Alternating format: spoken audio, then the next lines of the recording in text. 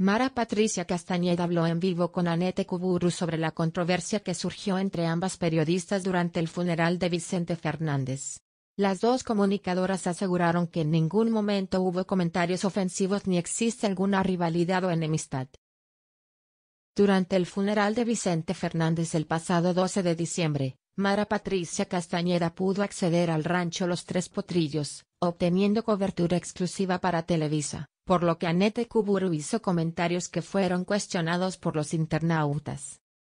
Mientras Castañeda entró al rancho gracias al apoyo de su ex esposo Vicente Fernández Jr., Kuburu desde el foro de Venga la Alegría recordó a su audiencia por qué la periodista de Televisa estaba teniendo trato preferencial por parte de la familia de Chente.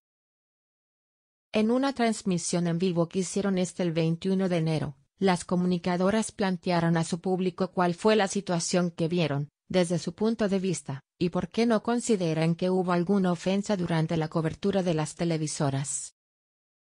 No le vi la maldad por ningún lado ni la falta de respeto, nada de lo que la gente empezó a decir envidiosa, ya quisieras tener la trayectoria de Mara, eres una grosera, ¿por qué te metes con ella?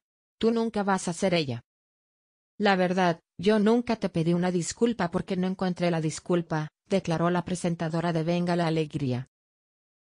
Annette aseguró que si hubiera hablado mal de Castañeda, hubiera sido la primera en reconocerlo y disculparse, pues en realidad solo se dedicó a narrar lo que se estaba transmitiendo en ese momento. Además, aseguró que es una admiradora de su colega. Yo, desde muy chica, te admiro a ti y aprendo de ti, y de Gloria Calzada y de Verónica Castro y de grandes figuras como ustedes. Por supuesto que les he aprendido, y les he copiado muchas maneras y modos de conducir. Nunca les faltaría el respeto porque no tengo ninguna necesidad.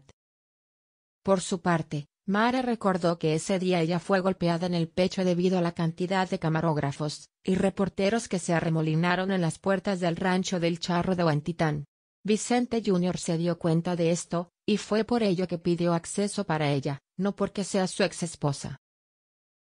Agregó que nunca se sintió ofendida por Kuburu, ya que no dijo algo en contra de ella, pero quiso hacer esta aclaración al darse cuenta que Annette sí estaba siendo agredida en redes sociales.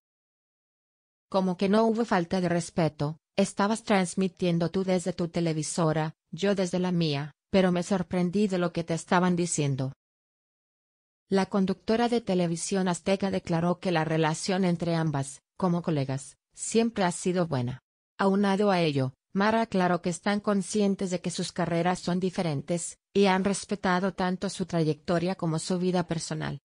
Finalmente, las periodistas hicieron hincapié en que las dos saben lo difícil que fue para cada una llegar hasta donde están profesionalmente, y no hay razón para criticar lo que cada una ha hecho.